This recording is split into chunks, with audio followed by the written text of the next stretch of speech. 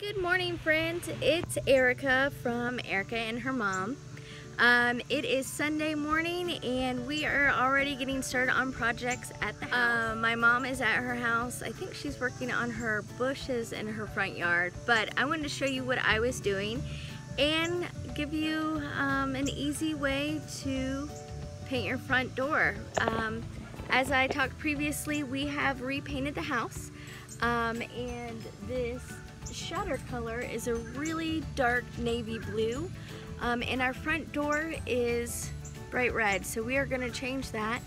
And the secret I have for painting the door is get your husband to do it.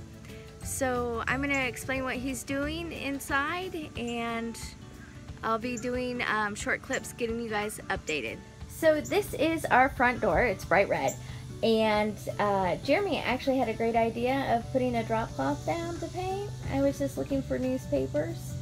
Um, that's why he's in charge of this project. But what he's going to do is take all the hardware off and make sure the door is cleaned down. He's then going to take a uh, half inch angle brush and a two inch roller. He'll get started on the recessed corners um, of the paneling and then he's going to be doing um, this section. So we're doing a dark blue. He might have to put two coats on. We'll show you what's so up This is my husband Jeremy. Say hi. Hi. So he is taking off all the hardware first um, off the door. Uh, we're not going to be painting the inside because I'm going to leave that white. It matches the decor, but we are going to just paint the outside. He has a nice thick drop cloth down and then his plating clothes on. So as I told you guys, the easiest way to paint a door is to have your husband do it. This is my husband, Jeremy. Can I put you on YouTube, babe? Sure. Okay. So he is taking all the hardware off the door. Um, he is not going to be painting the inside of the door. We're going to leave that white because it matches the inside of the house. Um, but he did take the handle off and he is going to take the little peephole off um, and then wipe the door down. See, I couldn't do that. My arms aren't long enough to reach around the door.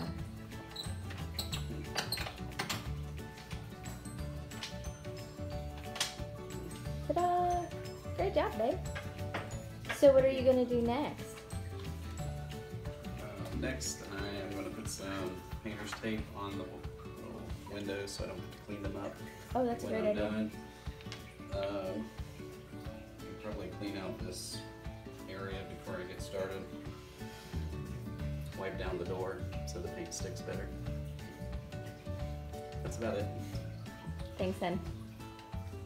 Hey, babe, what is the difference between painter's tape and like masking tape, scotch tape, the other tape that people use for painting? Masking tape like that stuff that looks like a manila folder. Yeah, yeah, that one. Um, I think it's just the amount of stickiness on it. This is like the newer version of masking tape. People used to use that to mask off. Um, but it's a little more sticky, so when you pull it off, you know, it's, this Why is... Why can't you just use regular clear tape? like you do for presents. Um, that stuff's way too sticky. Like, it'll leave marks on the glass and stuff. Okay. What are you doing, babe? Uh, I'm covering up the metal on the hinges. Um, some people don't bother doing this stuff because you can like scrape it off afterwards, but like I just think this doing it this way is better. You don't get it on there to begin with, and then you don't wind up with any kind of accidental scratches or things like that. Oh, I see. It was painted over there. Yeah, I already scraped some old paint off of this before I started, so I don't want to put any new paint on it. Oh, good to know. Perfect. So Jeremy got the door all ready to paint and beautiful. Thank you. A lot more than I would have done. And he got his paint. What color is it? It's called uh, Anchors Aweigh. It's from Sherwin Williams. Awesome. It's a really, really dark navy blue. And I need a paint stirrer. Let's see what I okay. Can you use a stick from outside? Um, maybe. Let me see what I can find. Okay. So this is where the project is getting real. Yep. Um, so I could not find a paint stirrer, so I went out in the backyard and I got a petiole off of a palm frond. and I broke this end off. The important thing with paint is that you don't get a bunch of extra junk in there. So kind of wiped it off and picked all the little loose pieces off of it, so it should be should be good as a paint. So just to let everybody know, this is usually how most of our projects go. We get halfway through, we don't have something, and uh, we improvise looking for something else that um, is disposable. So Jeremy is going to uh, mix the paint. Why are you mixing the paint, babe? Uh, because the paint separates, and if you don't mix the paint, some of the like I don't know the oils or whatever, um, and paint color will be inconsistent. Can't you just shake it really hard? Um, no, you need like one of those machines from Oh. the store to shake it that hard. Oh, okay. All right. Good deal.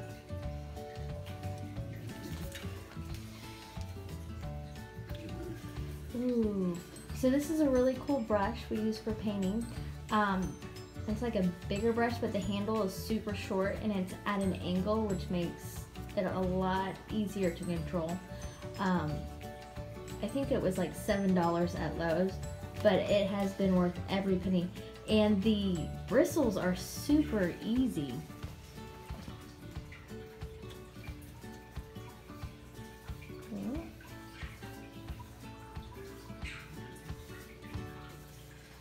I think that's gonna look great. I love that color.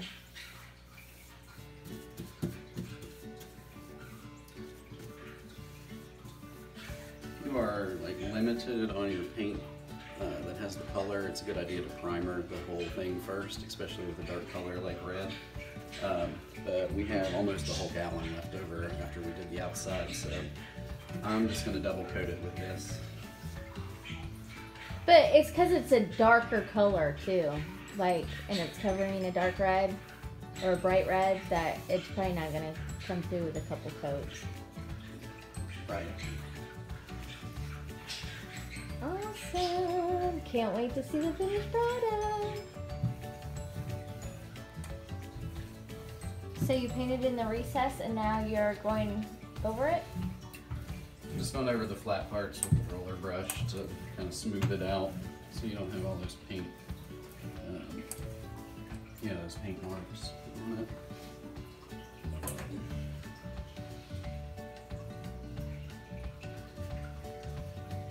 Catch the drips and that kind of thing. Don't you love spending quality time together, babe? It's wonderful.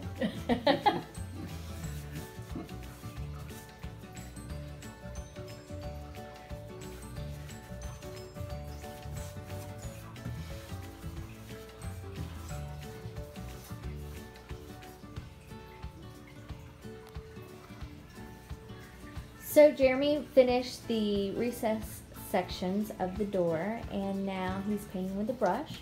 Um, the flat parts uh, for the first coat. And I take it we did not have to take the old paint off. No, um, like I said earlier, you could put a primer coat on it if you were concerned about like um, saving your colored paint. It Oh, would have covered that red and you wouldn't have to do two coats. But then you would be doing two coats because you'd be doing the primer coat also. and so if you have to, I'm trying to think of really good questions people might want to know. Um, would you have to do any repairs to the door beforehand?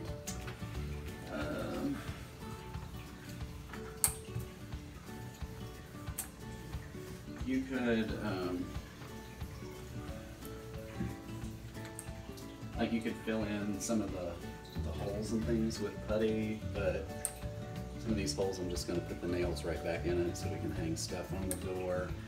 Um, this particular door has some kind of extra damage to it that um, you could cover that in. But I don't want to because I will tell you a very funny story if I can get around Jeremy. So see these big gash lines in the door? Um, so this uh, front door used to have one big piece and when I was a teenager, um, my brother and I were left home alone and we kept hearing something at the front door so we weren't allowed to open the door of course when your parents aren't home. However, we look through the peephole and there is this giant St. Bernard outside. No joke. My mom still does not believe this story to this day. So we go to open the door and the St. Bernard jumps up on the glass and the glass falls over us and scratches the door and the dog jumps on top of the glass runs into the house, runs on my dad's side of the bed. So there's this huge St. Bernard. We're freaking out. There's no cell phones. Um, and we ended up having to use the whole pack of bologna to entice the dog to get out of the house. So when my parents came home, they were livid that there was a big gash on the door. And we kept telling them the same story over and over, and they still don't believe us to this day that it was a giant St. Bernard in Florida that made the da- gash in the door, and that's why all the bologna was gone. Jeremy has finished the first coat on the door. So how long are you going to let that sit before the second coat? About an hour. Okay. So um, you don't want your paintbrushes to dry out while you're waiting to do the second coat. So I just put them in a plastic bag. As long as you kind of get rid of all the air, it'll stay fresh. Um, if you're going to do it overnight, you need to stick them in the refrigerator, not the freezer. Oh. Um, put them in the refrigerator, and it'll it'll stay basically tacky and you know like paint. Um, Why not the freezer? Um, if you put it in the freezer, then it can affect the paint Oh. on, Okay.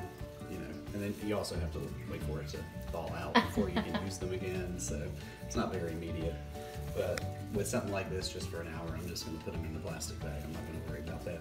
Sounds great. Hey friends, here is the finished product. Jeremy went ahead and did the second coat. It looks fantastic. Um, couldn't be happier with it. Now, I just wanted to let you guys know this whole project took about five hours to complete, um, which is a little bit longer than we thought, but I am really glad that I had Jeremy do it because he's a little more meticulous than I am. I'm gonna zoom in so you can see. It's not black, but it's pretty, um, pretty blue and um, it's exactly what I wanted to see um, for a front door. So if you guys have any questions or any tips that might help this go a little bit better or quicker or know something that we didn't do, um, please comment. Uh, again, you know, we always want to do different projects and don't always know the best thing to do, especially when you don't have a paint stir. Um, make sure you guys like and subscribe. We have more fun stuff coming up shortly. I'll talk to you guys later. Cheers.